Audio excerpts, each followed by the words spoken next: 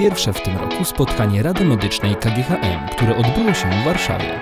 Rada jest ciałem, która skupia kilkunastu wysokiej klasy specjalistów z różnych dziedzin medycyny, a na jej czele stoi prezes zarządu Marcin Grudziński.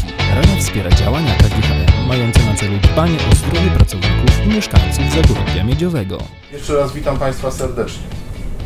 E, e, mamy, kilka, mamy kilka punktów, o których e, tutaj będziemy starać się rozmawiać.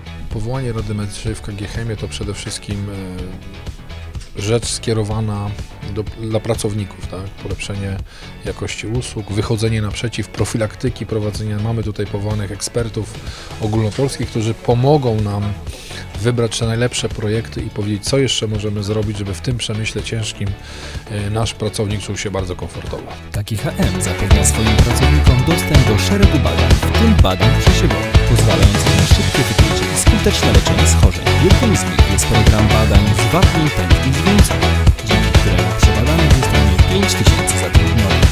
Podczas posiedzenia Rady nie zabrakło też bieżących tematów, w tym szeroko omawianego problemu koronawirusa.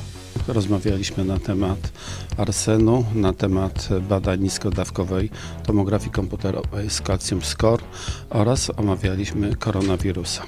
Co roku w Polsce około 5 milionów osób choruje na grypę w sezonie grypowym. On na szczęście w kwietniu najczęściej się kończy. Miejmy nadzieję, że z tym wirusem będzie podobnie. Świadczenia w ramach medycyny pracy dla pracowników miedziowego koncernu gwarantują jeden z najwyższych poziomów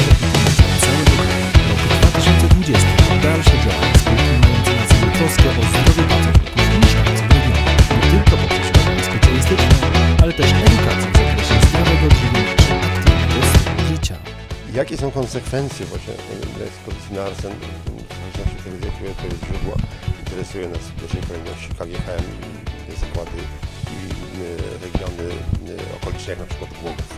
Od lat badamy stężenia m.in. arsenu u pracowników, zarówno huty, jak i kopalni. I nie było to poprzedzone jakimś programem, to było po prostu prośba czy współpraca między nami a KGHM.